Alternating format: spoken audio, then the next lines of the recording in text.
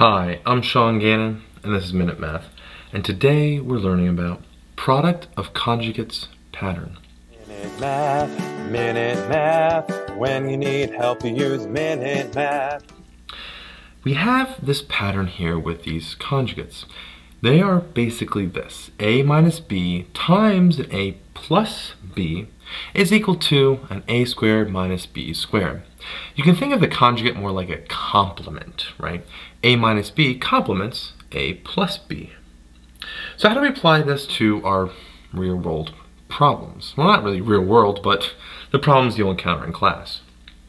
First one's here. 2x plus 5 times a 2x minus 5. We want to identify specifically our a's and b's that work for this pattern. So we look at this, our first value, we have if it 2x is equal to a, which we might have here, so if a is equal to 2x, what would my b equal? Well, the b value, do we have an a minus a b, which we have right here, a minus a b. We have an a plus a b right here, if b is just a 5. Just a 5. Be careful. A lot of times people try and put a minus sign in there. It's the value right there, just the 5. Since we have that pattern set out, we can rewrite it as such, a squared minus a b squared. So a being a 2x, we have a 2x all squared, the whole thing, minus our b value, which is 5, all squared. And from there, we need to simplify. 2x all squared, 2 squared is a 4, and x squared is an x squared. Minus 5 squared, a 25. So using our product of conjugates pattern, we get a 4x squared minus a 25. Let's try another example here.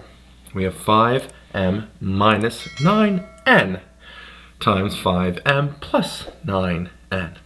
What are our a's and b's here?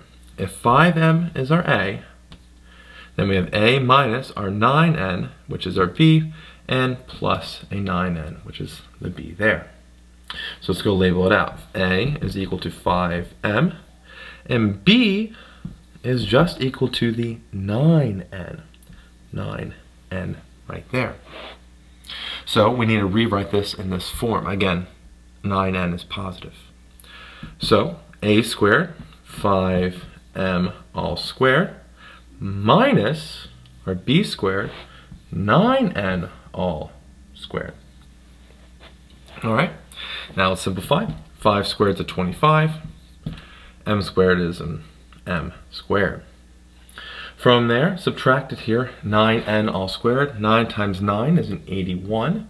n squared is an n squared.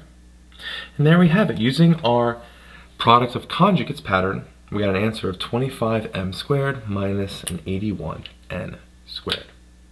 I hope you learned something here on the product of conjugates pattern. If you did, Make sure you like this video and subscribe to our YouTube channel. This helps us make more of these free math lessons for you and for everyone else. So as always, thanks for watching.